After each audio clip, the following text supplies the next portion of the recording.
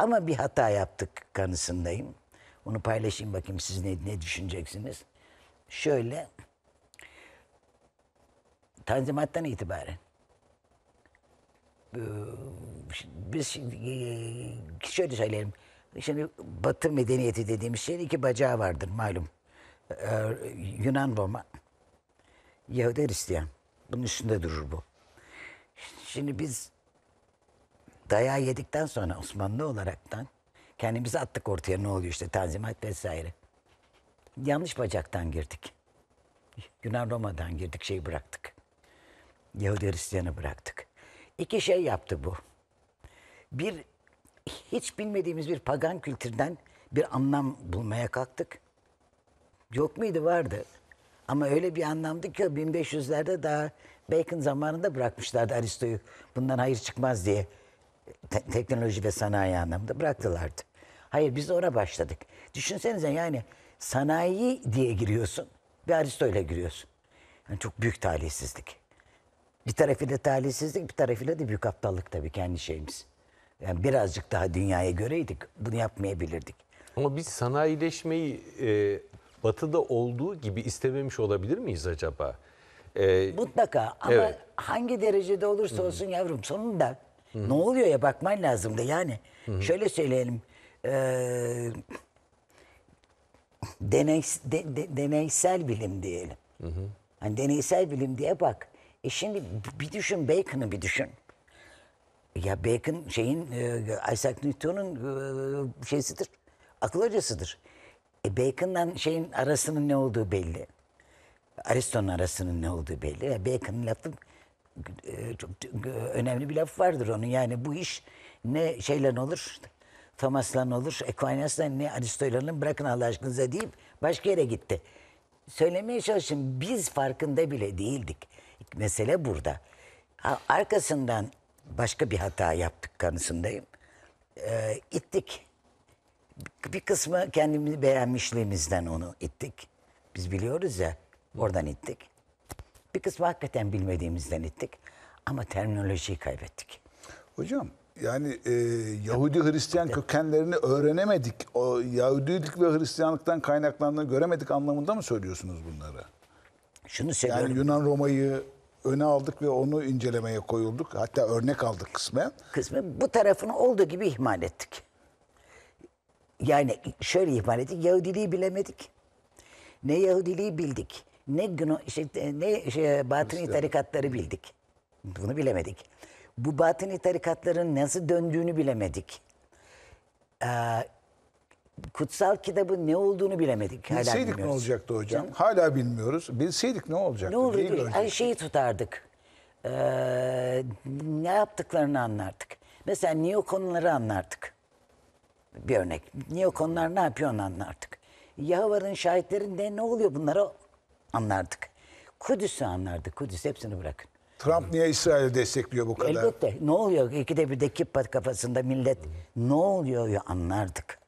Ve hem hazırlıklı olurduk. Yani şimdi açıkçası suçluyorum ilahiyatçıları falan. Diyanet e, suçluyorum. Çünkü bu iş değil. Orada bir şey görüyorsun. Bir bak ya. Bu nereden geliyor? Ve gelinen nokta bana sorarsanız Hristiyanlığı Yahudiliğin içinde eritmeyi becerdiler. Erol Bey kardeşcağızım. Bu iş, Aynen bu, bu füzyon bitti. Bu bir füzyon, bu füzyon bitti. Ama şunu anlamak mümkün değil. 1975 yılı Kudüs. Kudüs'te Amerikan e, Liberty çanı derler o. Özgürlük çanı var Philadelphia'daki. Yedi kere çalmışmış bunlar e, İngiltere'den koptuklarında. O duruyor şeyde Kudüs'te. Niye? Altına da Kudüs Belediye Başkanı Amerikalılara saygımızda bilmem nemizi falan diye yazı yazmış. Peki. Mormon niye orada? Allah Allah. John, John Smith ya sahte peygamberin ne işi var? O da orada. İpini koparan, yol geçen anı yapmışsın sen bir Kudüs. E şimdi ne biz neredeyiz Allah aşkına? Heh, hocam tam da o sorunun yeri. Yani Hristiyanlarla Yahudiler bir işbirliği içerisindeyken e, biz neresindeyiz ve neredeyiz? Ve Çocuğum- e, çok özür dilerim hocam basit bir işbirliği de değil Seval. Yani hocam dedi. Bir erime de var değil mi hocam? erittiler bu evangelistler çok enteresan sahiden ve e, eskiden e, Hristiyanlık ve Yahudilik arasındaki çelişki belki Batı'nın temel çelişkilerinden birisiyken Bitti. ortadan kalktı ve şimdi hepsini bütün olumsuzlukları Müslümanlara projekte ettiler. Tabii. Siz şey derken hocam onlar ölmeyi bilmiyorlar derken e, biz varız ya diyecektim ben de. Yani son 25 yıl içinde milyonlarca Müslüman öldü.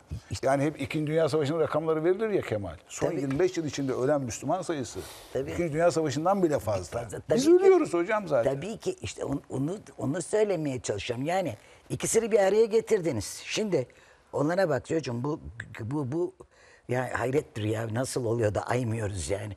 Bu iç içe girdi. Ha. Şimdi burada başka bir şey var, oyun var. Ee, getirip Yahova'ya dayadığınız zaman hı, dünyanın güya bütün tarihini, insanlık tarihini anlatıyorsunuz aklınız sıra. Bir bir kontinyum içinde devam edip Bütüne. ha şimdi tabii ya artık az önce buyurduğun gibi ayırmanın imkanı yok. Bir tek şeyler yazık, ayakta durum yazık onlar da yani Allah affetsin yazık dediğim için şey hasidiler. Hatırlarsanız bu Lüleliler e, Cumhurbaşkanımızın yanına gittiler de. E onlar seviyor bizi zaten. Biz onlar da onlar sevmiyor. O adamlar yok yok sevdiklerinden değil. O adamlar İsrail'in bakın bu da bunu da biz bilmiyoruz. Yani bilmiyoruz derken konuşulan şeyler değil anlamında. Ee, o adamlar 1948'de İsrail e, işte ortaya konu çıktığı zaman İsrail'e gitmeyi reddeden adamlar. Ona da itiraz ettiler. Devlete de itiraz ettiler. E, çünkü şeydir onlar da işte e, Mesih'in e, bir endaze yürümediği yere gidilmez. Darül Harp diye bakıyor İsrail'e. Onun için gitmedi. Hala gitmiyor. Kaldı adam bu tarafta. Şimdi bir onlar var. Yani bir ülke düşünün ki değil Yahudiler içine giremiyor. Şimdi ne oldu bize de İsrail'e? Bir devlet gibi de bakamaz olduk. Ya kardeşim ne yer ne içer? Uyduruyoruz Amerika'dan geliyor bilmem ne oluyor. Peki.